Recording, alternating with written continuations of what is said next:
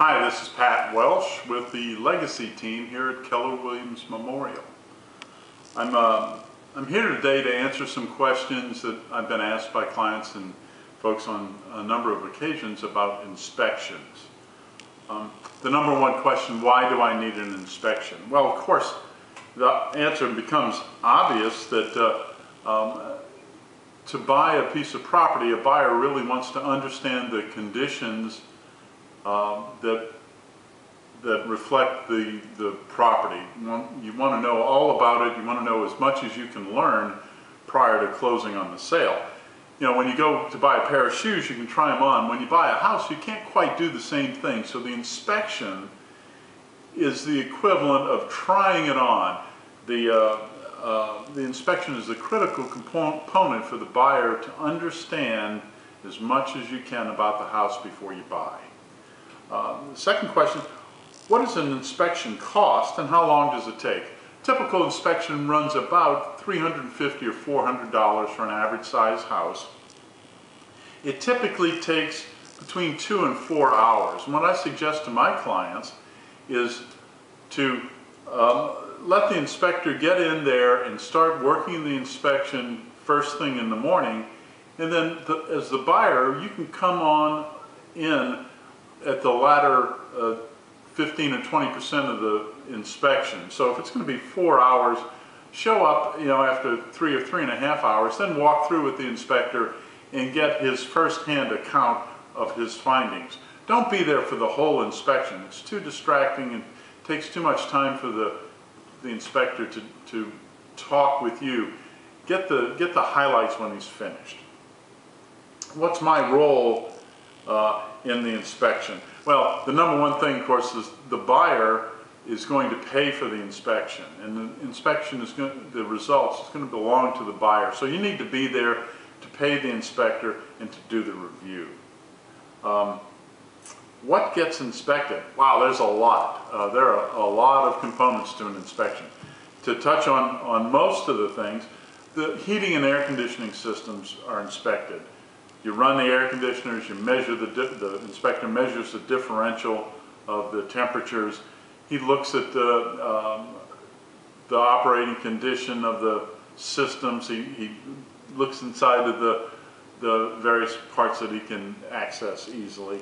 he looks at the electrical system, the electrical box, the breakers, the, uh, uh, the wiring that it, that's accessible. He looks at the light switches and outlets and a variety of different things. He looks at the plumbing systems, the water, the hot and cold water, the water heater. Uh, he looks for drips and leaks and things of that nature. He looks at the roof pretty critically. A roof's a big component um, either visually, sometimes they use binoculars, oftentimes an inspector will actually grab a ladder and climb up on the roof. They look at the granularity of the shingles and the overall condition so that they can report to the, you, the buyer, what the roof condition and longevity is likely to be.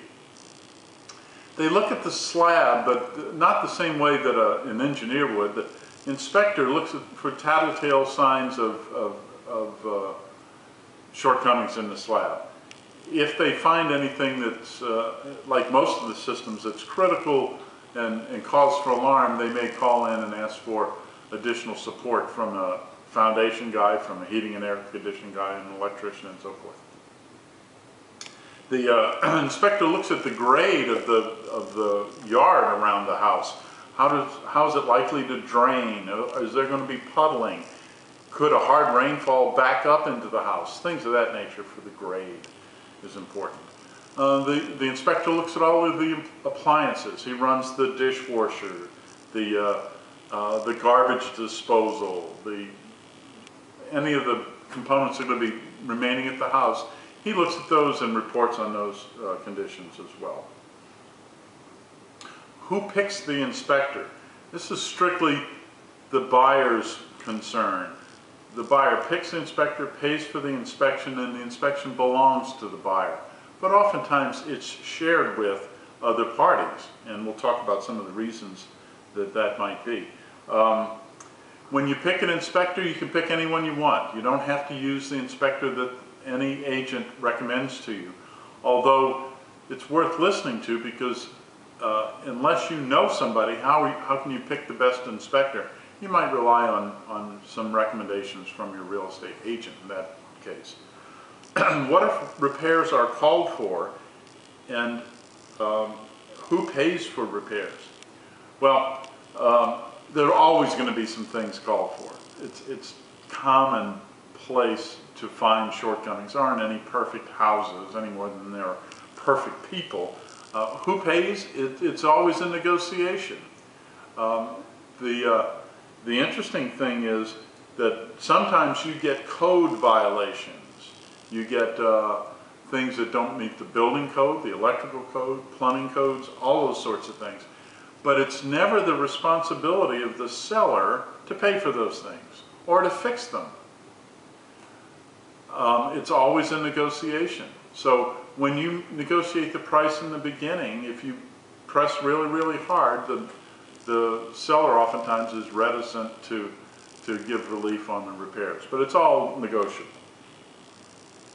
What about a new home? Should I get an inspection on a new home? This is a good one. Um, people will think that because you have a warranty and be, from a new home builder, that it's not necessary to get a, an inspection. Um, I absolutely disagree with that. I think it's a great value for the buyer to pay for an inspection on a new home because new home construction is just as likely to have shortcomings as an existing house. And um, by working with an inspector and the builder in concert, you can get a lot of things rectified. We've got a lot of horror stories about, um, you know, subcontractors that work for a builder that make mistakes, and inspectors find them. Um, reports. The, the inspector is generally going to publish a report within a day or two of the inspection. He's going to typically email it to the, uh, the buyer. It's got photographs, it's got a lot of dialogue, it's got all of the findings of the report. It's a good lever to use to negotiate with the seller for concessions on the purchase. Um, and lastly, we want to talk about an inspection that is almost always done as well, called a wood destroying insect or termite report.